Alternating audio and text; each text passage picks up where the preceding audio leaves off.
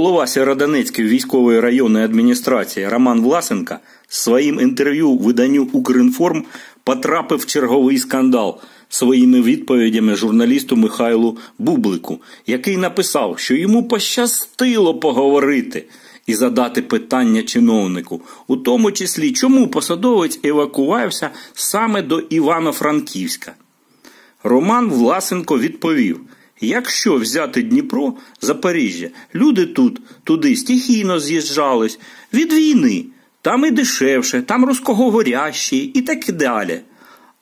А в Західну Україну виїжджали спеціалісти, люди з грошима або з досвідом, з позитивним трудовим резюме. І вони себе реалізовують там нормально. На таку відповідь чиновника просимо читачів і глядачів зараз інфо прокоментувати, до якої категорії себе відніс Власенка: спеціаліст чи людина з грошима або з досвідом, або з позитивним трудовим резюме. І як він себе реалізував там, в Івано-Франківську? Нормально. Тим, що його жінка дистанційно технічкою працює в Дніпрі в Щастінській райадміністрації, чи тим, що катає свою п'яту крапку на автомобілі за 1,8 мільйона гривень, купленому за бюджетні гроші Попаснянської громади, чи тим, що намалював собі середню зарплату у 2023 році в майже 70 тисяч гривень на місяць. В соцмережах вже виникла бурхлива реакція стосовно висловлювань чиновника Власенко. Ну, про наших чиновників, бачите, які отримують зарплату. І не маленькую зарплату ви зараз увидели по деклараціям, там мільйони у них за год, оказывается, показали в декларации зарплаты. Жены их не все работают, пристроены, все у них хорошо, сидят на Западной Украине и тут пытаются что-то нам рассказать, как нам надо жить, понимаете? Поучить немножечко э, нас хотят.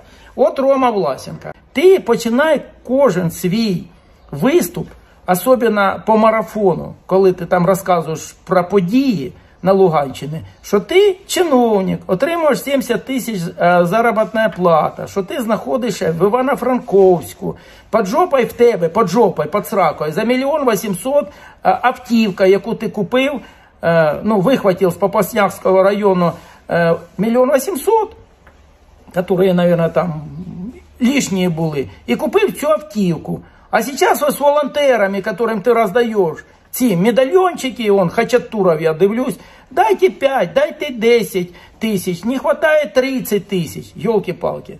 Ну це ж взагалі дурня якась.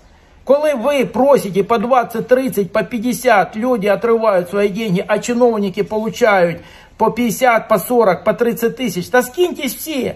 І не позорьтесь сьогодні. Так от, що пишуть, і мені скинули Е, щоб я прокомментировал. Для тебе, Рома, ти живеш в Івано-Франковську. Я не знаю, що це за стаття така, ошибок стільки багато, я виставляю, що пише Рома.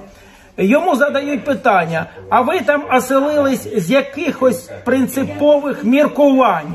Чи тому, що там ваш хаб запитання? А, Ну, я спочатку виїхав, потім хаб там організував. Ну, це як волонтер, бачите, це не як чиновник, як волонтер. Організував хаб. А утім, я вважаю, що мова йде про великі міста. У маленьких проблем із цим поменше. А переселенці місцевих громад приносять більше плюсів. Е, чим мінусів. Це раз. По-друге, чим далі на Західну Україну, тим більше туди виїжджають свідомо. Якщо взяти Дніпро, Запоріжжя, люди туди стихійно з'їжджалися від війни.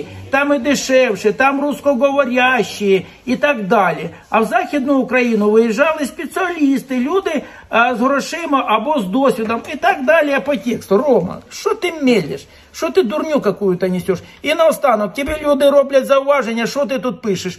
Давайте кожен за свої думки сам буде відповідати, що в мене на думці вам невідомо. На сорти тут ви з Анатолієм людей не діліть. Слышиш? Та тобі зробили замечання. Ну, Анатолій Ришков це наш відомий юрист, правозахисник, общественник з Лисичанська. Ну, і що це? Говноролик в мене чи ні? Рома. Начинай виступлення, що ти чиновник, а зарплата у тебе 70-80 тисяч. Їздиш на автівки за державні кошти, які ти купив, за мільйон 800. І купив за державні зараз теж гроші ці медальки свої, які ходиш і роздаєш волонтерам. Військовий. Одягай погони, диво зволяй Луганщину. Со всіми ухилянтами, яких наплодив Гайдай. Все, отакий коментарі у мене, друзі. Пока. Гарного дня.